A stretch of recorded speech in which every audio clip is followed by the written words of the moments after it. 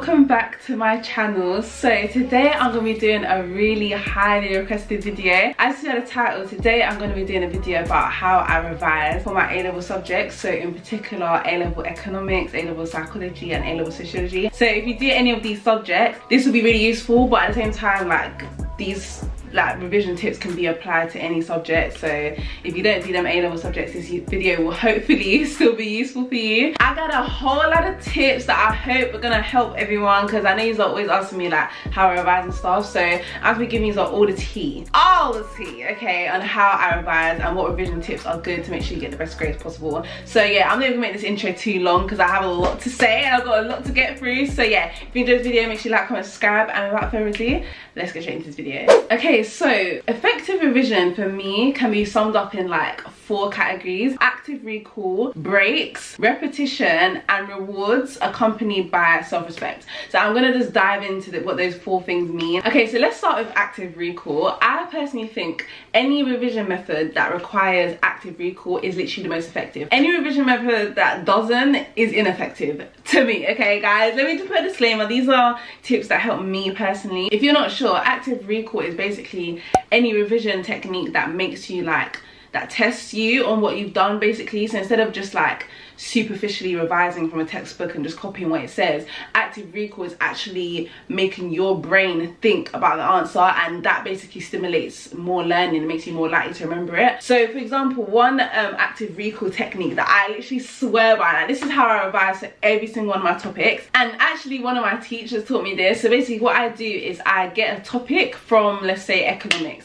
Let's say the topic is government intervention. I don't know. Let's say that yeah. I'll do I'll get a page, draw a mind map, so have maybe taxes in the middle and draw a bubble around it. By the way, can I just say that for me, colours, highlighting, everything colors you know really helps me learn and revise. But i understand it's not for everyone but for me personally i prefer colors so if you've never tried using colors in your revision maybe try that like get some highlighters. I have these pens that are like felt tip pens and i have it in so many different colors and i literally do all of my work in it. Like at school when i'm writing the date and title i'll do the, do the title in blue pen and stuff. Like everything about my work is colorful because i just can't stand work that is just dull. Like, i feel like i'm less likely to read it unless like to understand it if it's not colourful. So yeah i'll get one of my coloured pens and i'll draw um, the topic name in the middle and draw a bubble around it. And without touching any of my books without looking at any textbook without looking at any work without doing nothing i literally just write and blurt out everything that i remember about that topic. So literally anything. Like i literally just give myself about i don't really time it. I just do it until i feel like i can't remember anything. But i just keep on just writing drawing lines out of it just write everything i know everything i know. And then later when i feel like i've written down everything that i know i'll then go in with a different colored pen and write in all the things that i've missed using my textbook or using my classwork or using any other like content revision material that I can use to just add anything in. And when I tell you I swear by this technique. Like guys I see someone that used to do flashcards all the time. Like to pass my GCSEs I literally just use flashcards. I didn't use any other revision material other than flashcards. Whereas with A levels I feel like flashcards are just too they're just too time consuming. Like i don't have time to be writing flashcards you know what i mean? Because with flashcards yeah they're only useful after they've already been written. Because obviously when you're just writing the flashcards it's not active recall. And like remember i said active recall is most effective revision material revision technique sorry. So when you're sitting there writing out the flashcards writing out the flashcards to me that just seems like a waste of damn time. Like you spend all those minutes maybe even hours writing out the flashcards when you could have spent that time doing the technique i just said where you're actually thinking and using your brain. Like obviously if you're writing flashcards you're remembering content because obviously you're getting the answers and stuff but it's not coming directly from you and i feel like revision is way more effective when you're the one that's like thinking about the answer rather than the answer being given to you. With a levels flashcards this wasn't working. Like fair enough if you have the time to be doing that flashcards but at this stage when i've got four months until my a levels i don't have time to be writing flashcards i actually don't. And one thing related to active recall that i cannot stress stress enough is being self-reliant and confident that you know the answer. There's been so many occasions where like you might um want to start revising the topic and you feel like oh i don't know anything about this topic. Like i don't remember anything. I don't know. I can't remember who said this. I can't remember what that definition means. Let me just check the textbook. Let me just check my folder. Let me just check my book. And then you look at the answer and you're like oh yeah i remember that. Da da da. No. Like guys when I tell you memory is a powerful thing. Like if you do psychology you know that your long-term memory can hold a whole bunch of stuffs okay? Once you've learned something I promise you uh, like 99% of the time the knowledge is still in your brain. It might not be in your conscious mind but it's definitely back in there somewhere okay? You just need to resurface it. Like it is definitely somewhere in your subconscious mind that you're not realizing. And if you get into the habit of like thinking oh i don't know the answer to this to this definition. I don't know the answer. I don't know anything about this topic. Let me just check textbook. You're becoming reliant on other people giving you the answers if you know what i mean? Or say if you're revising and you're around your friends and you're thinking oh what did, what did miss say about that again? Let me ask my friend. Oh what did da, da, da, i can't remember what this means. And then they tell you like you're becoming too reliant on other people giving you the answers. And let me tell you why it's important to think for yourself about the answer in the damn exam no one is going to be there to help you. Like you need to get into the habit of being confident that you know the answer. Like there's been so many times like if my friend is watching this she'll know. There's so many times that my friend will ask me like oh um Oh, also about psychology be like oh what does da da da da mean again? Or who da da da da and just asking me a question about psychology because she can't remember. And I'll be like you know the answer. And then she'll get annoyed being like oh, can you just tell me the answer. I'm like no you know the answer. What is it? Like and I'll prompt her to think herself what the answer is. By the end of the conversation she's already remembered it. Like I didn't even have to tell her she remembered it. So you need to get into the habit of like thinking deeply and like forcing yourself to remember the answer. Obviously like if you don't know the topic at all and you genuinely don't know like it's gonna be hard for you to remember but if it's something that you've learned recently or it's something that you understood at the time most of the time it's gonna be there in your brain somewhere and you just need to get into the habit of like actually thinking. And that's what the active recall method that I just spoke about um does like instead of going to the textbook to get the answers about the topic or going to the textbook textbook to revise you're actually revising using your own brain as a revision material. Like you're trying to answer a question what is the definition of schizophrenia? Instead of you to be like oh i can't remember let me go to the textbook you're gonna sit there. If you need to sit there for five ten minutes sit there for five ten minutes and think what is it? What is it? What is it? I know it i know it.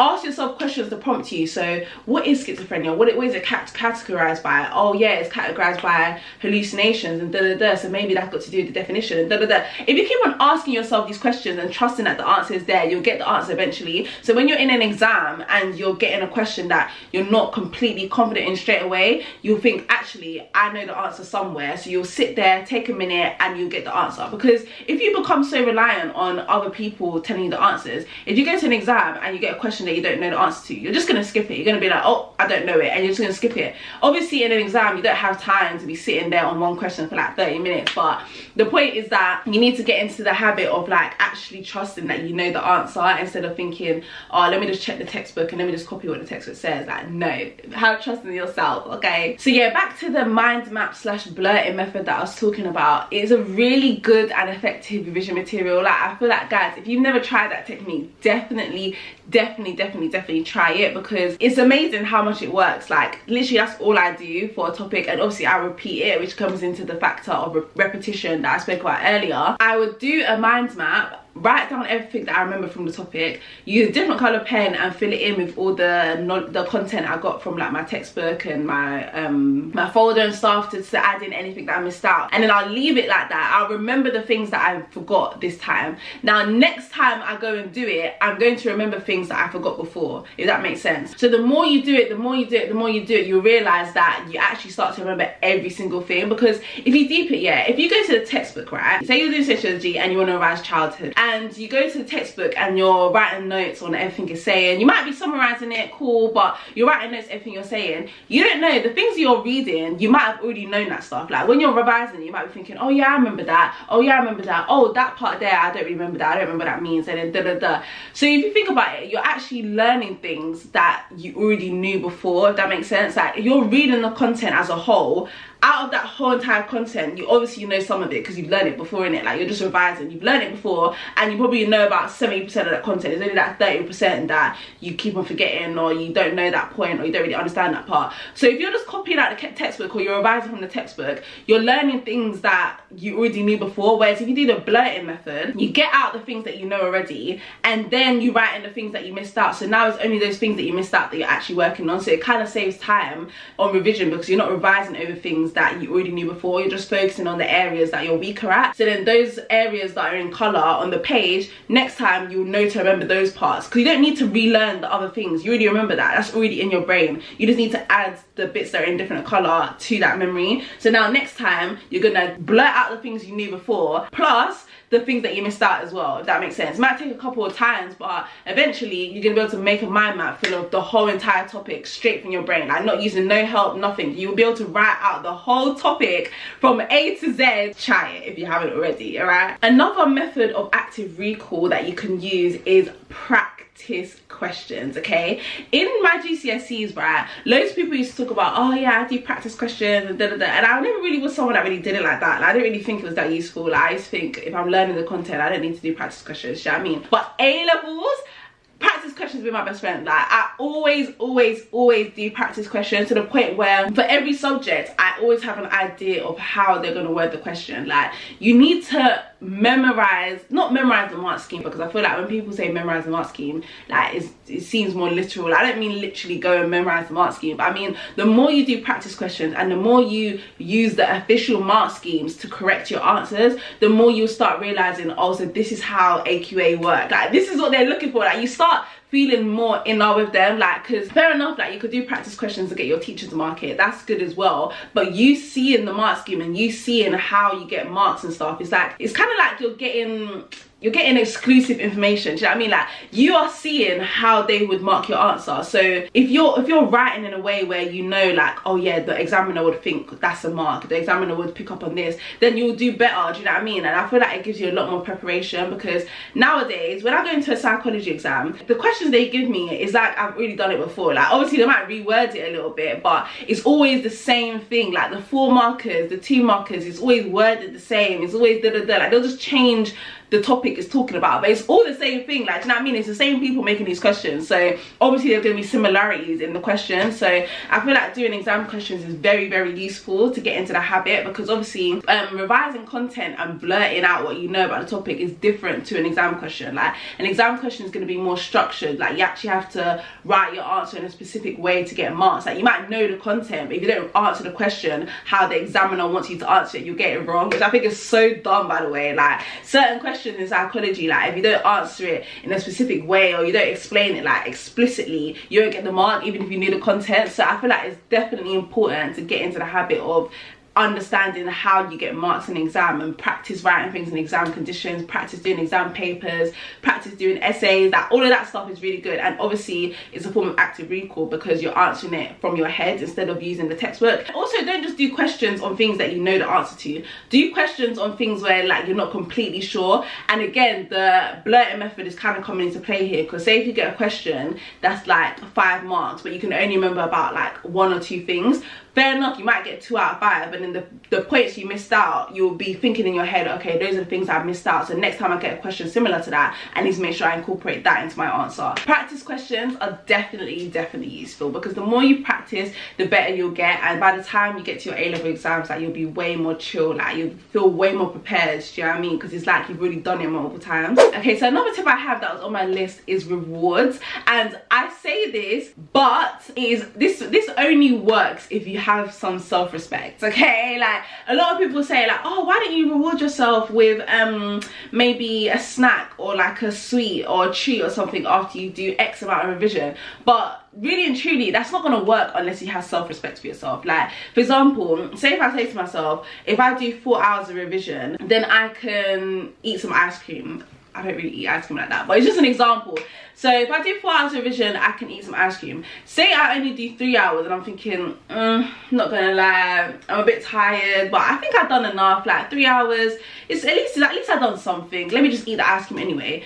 I'm not having respect for my own authority. Do you know what I mean? Like I don't have self-respect. Not in like a rude way. What I mean is that like say if someone else like I don't know your mom was like to you if you don't do four hours of revision I'm not letting you have your phone and they take your phone and they're like if you don't do four hours of revision you're not getting your phone back. If you do three hours you're not getting your phone back because someone else is in control in it and you have no control over that. Whereas when it's yourself and you're telling yourself oh if I revise four hours then I can get my phone back you're more likely to be more lenient on yourself whereas like if you do three hours you have you'll give yourself the benefit of the doubt and you'll be like uh da da da I might as well just let myself have the phone anyway because at least I've done three hours. Do you know what I mean? You have to have respect for your own authority and be like, no, Natania, you said that I had to do four hours, so I'm gonna do my four hours and it's I can't use my phone. Like, do you know what I mean? Like, you have to actually follow the agreement that you had with yourself do you get it? like you, if you agree to do something with yourself like if you agree that yeah i'm gonna do this amount of revision and then i get to do this you have to stick by it otherwise the reward system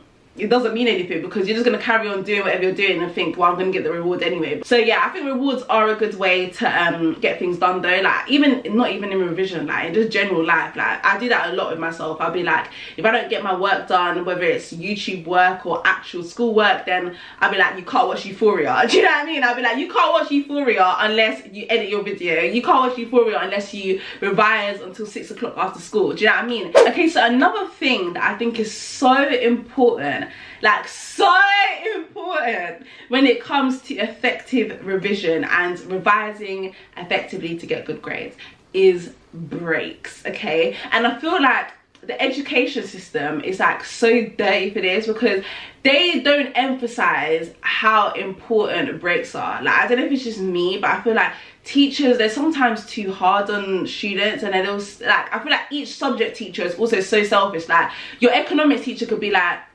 oh yeah i'm giving you guys two pieces of homework um, to do before Monday. Meanwhile, your psychology teacher and your sociology teacher are also all giving you homework. It's like obviously they're not in the same department, so they're all just doing whatever they think is best for their like class in it. But then really and truly, you as the student is feeling such an overload of work. Like there's been times, especially in um, since we came back since December um, half term, I've just felt like I have so much work to do. Like every minute, homework here, homework there, homework there, all due tomorrow, due tomorrow, due tomorrow. Like it's like you not trying to give me a break, and I feel like you have to give yourself that break. You have to dedicate time to just not doing schoolwork because I just don't believe in making education your whole entire life. Like I know some people what will like wake up at like four o'clock in the morning, start revising, don't stop revising until 10 o'clock at night. Like fair enough if that's you, that's you. Like other people can handle that stuff, but for my own personal mental health and for yours, I would recommend like just having breaks. Like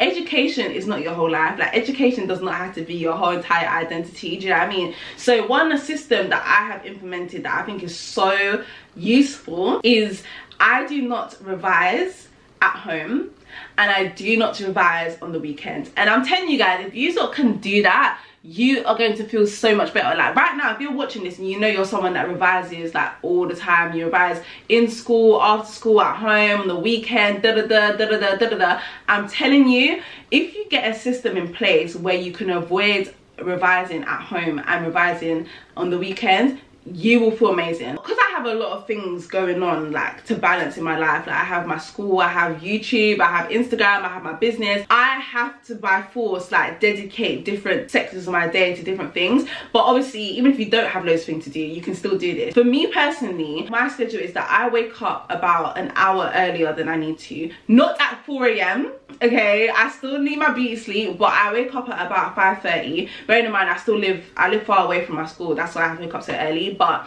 point is i get to school at around 7:45, whereas school actually starts at 8:40. so i basically come to school an hour earlier.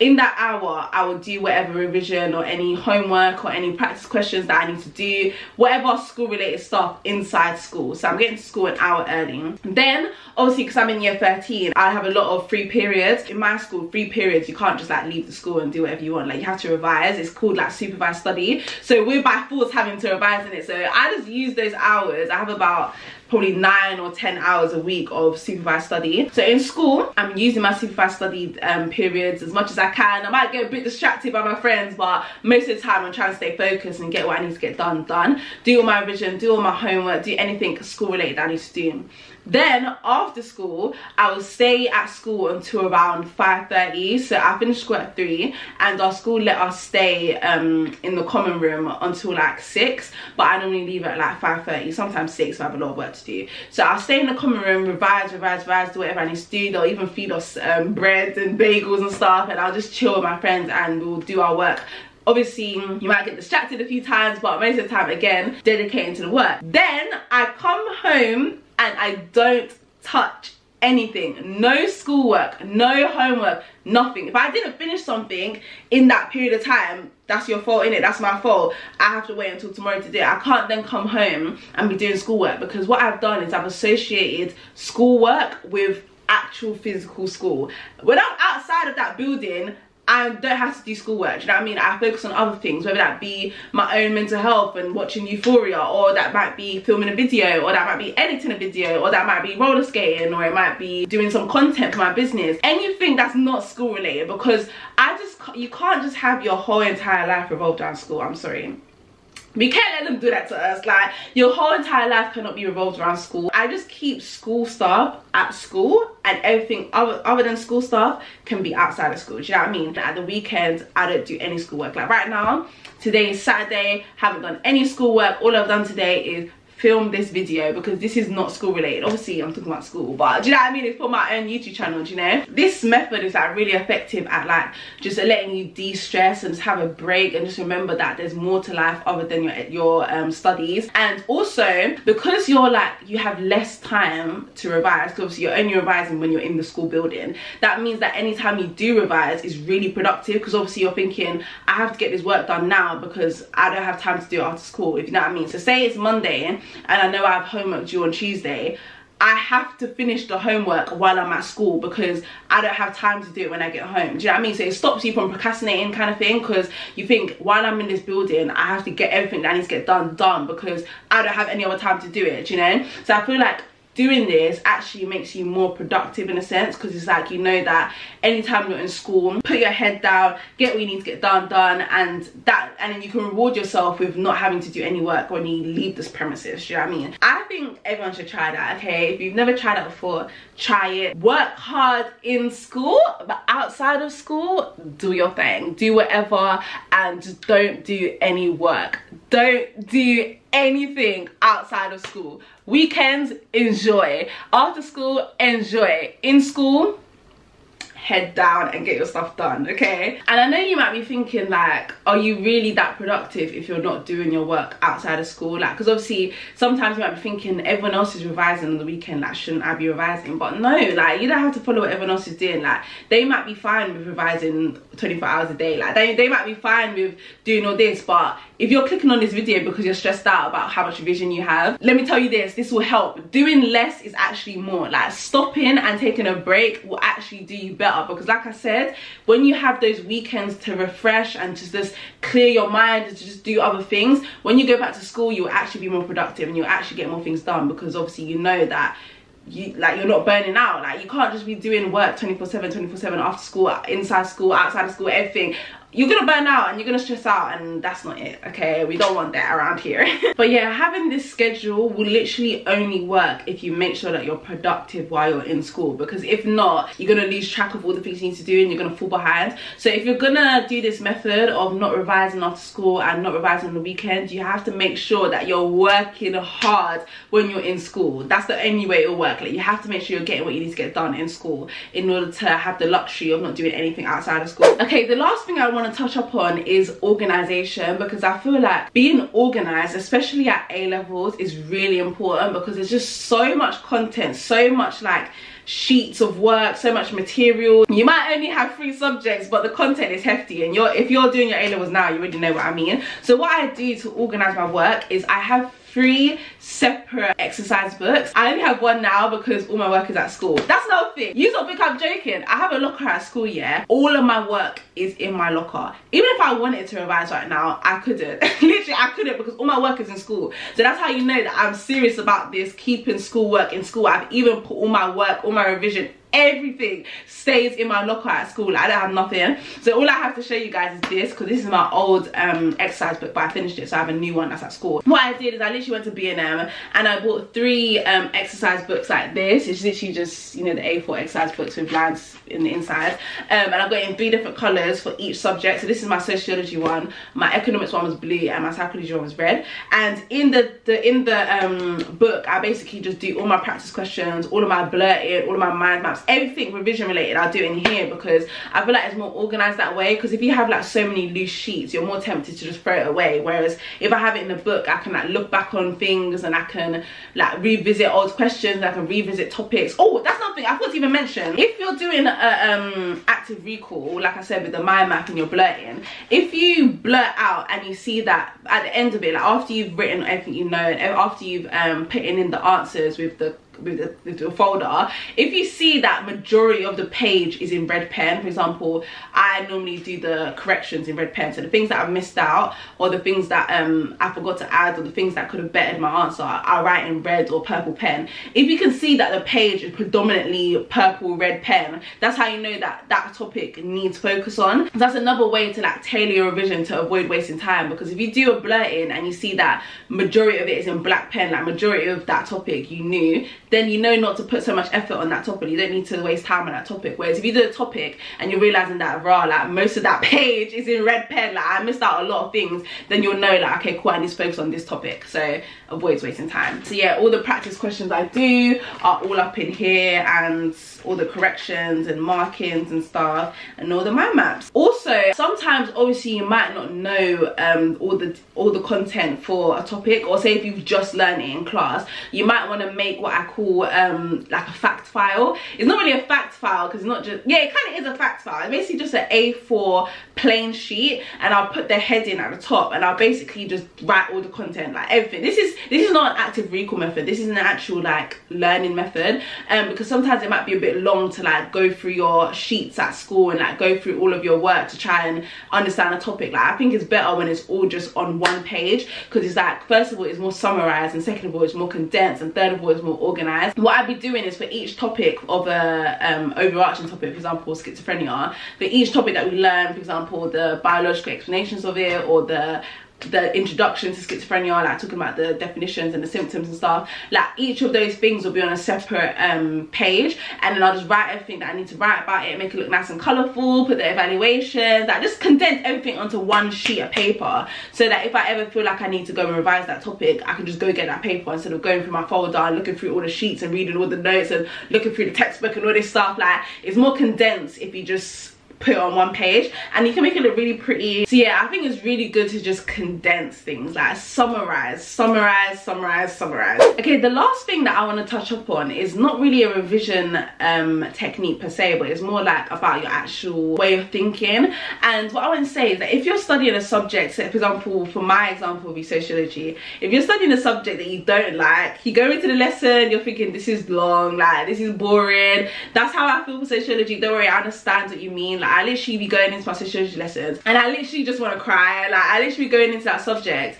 and I was thinking I don't want to be here. Like I don't want to learn this. I don't care. I don't want to learn it. I don't want to know. I don't care. Like I just have that mentality for sociology and it's been getting really bad lately because obviously the, the content is getting really heavy. So not only did I not like your subject to begin with, but now you want to be giving me bare content to learn. Like it's, it was really hard. Like this past week I was thinking I hate this topic like so yeah if you can relate if you have one subject that you're doing at A-level and you're just thinking I wish I never chose this subject I feel like one thing that we need to remember is that our minds are very very powerful. Also the word of the tongue is very powerful. If you keep on saying to yourself I hate this subject I hate it I don't want to learn this I don't like it da da da it's going to be reflected in how you interact in class. Like, I noticed that like because I was thinking like that in lesson like I wasn't really trying to engage like that. And I was just thinking like I don't care. Like the teacher would be asking oh why do you think that I don't know, why do you think that cults have decreased? I'm just thinking, I don't know, I don't care. Like, do you know what I mean? Like, I just, I just had a really bad attitude towards learning. It's fair enough, you can not like a subject, but I feel like if you, if you, if you're too negative about a subject, it can start like affecting how you're learning because obviously now you're, not only do you not understand, but you're not willing to understand because you don't like the subject. So if this is something that I don't understand in the class, I wouldn't even bother asking. I wouldn't even bother putting my hand up because I'm like, I don't even care about the answer anyway we can't be doing that because especially in this last few months like if you're doing your a levels um in may like me then we cannot afford to slack behind now. Like fair enough if you don't like the subject but you literally only got four months left to go of the subject. Like just put up with it. Try and find a way to enjoy it. Like i know that's easier said than done but for me sociology i hate it but i'm going into the subject with the lessons a bit more open-minded and thinking more positively thinking like okay cool we're going to do sociology it's not the best subject but let's learn let's find this interesting like do you know what i mean? Just try and talk yourself into finding it a bit better. Because like i said your mind and your thoughts are powerful. And if your thoughts are too negative about a subject it will make it harder for you to learn it. If you hate the subject too much you're not going to want to revise it. And you're going to keep on revising your other subjects instead of revising that one. And that's bad. Like you need to at least have an equal playing field on in terms of how much time you spend on each subject. Um obviously if you're way better at one subject than the other then you might spend more time on the other subject. But still don't be neglecting a subject just because you find it not interesting. Like you still need to revise it okay? It's still gonna be in your exam and you still need to know it okay? But yeah i think that's all the important things um, that i would say will make will help you in revising for your a levels. In summary make sure you're doing revision techniques that require active recall such as mind maps and blurting or practice questions. Second of all make sure you're giving yourself breaks okay? Make sure you have a break. If you can't do the whole thing of like not revising at all outside of school then at least give yourself like some some breaks in between your revision. Like don't just i'm not gonna be popping on. but yeah don't just be like hardcore revision revision revision. Like you're not a robot okay? Like don't be acting like a robot out here. And make sure you have a life outside of school because girl like school is not everything all right third of all make sure you reward yourself for the things you've been doing okay? Like if you revise so much during the week then make sure on the weekends you i don't know buy yourself some mcdonald's i don't know okay? Just do something to reward yourself. And make sure you're repeating things. Don't just revise a topic and be like yeah that's done. No. Revise it again next week. Revise it again in a couple of days. Make sure you're repeating what you're doing. Don't just blurt out everything you know and then put the things that you missed out and then just leave it like that. No those things that you missed out you need to know them as well like you can't just leave it out. So make sure you're doing it again and again and again and repeating and repeating and repeating. Don't be wasting time on revision techniques that are not useful. Like don't be wasting time reading the textbook copying out the textbook when you already know the topic. Like do you know what i mean? Don't be wasting time writing out flashcards if it's taking too long. Like me personally i know it works for some people but if you feel like it's wasting too much time you might want to find a different different technique. And yeah overall you got this okay? If you're doing your exam in four months i wish you good luck. I wish us all good luck because me and you both we're both gonna be sitting that exam. So i just hope everyone does well and gets the grades that they want to get. If you have any further questions feel free to dm me like i'll answer in the best way that i can because like i try to explain things but sometimes it's a bit hard for me to explain it so i don't know if i'm even making sense in this video but i'll find out when i edit it. But yeah if you have any questions ask me in the comments or dm me on instagram and i really hope this video was useful for you guys because i know a lot of you were asking for it. So yeah. Thank you guys so much for watching and i'll see you guys in my next video. Bye guys. Y'all better subscribe to my daughter's okay channel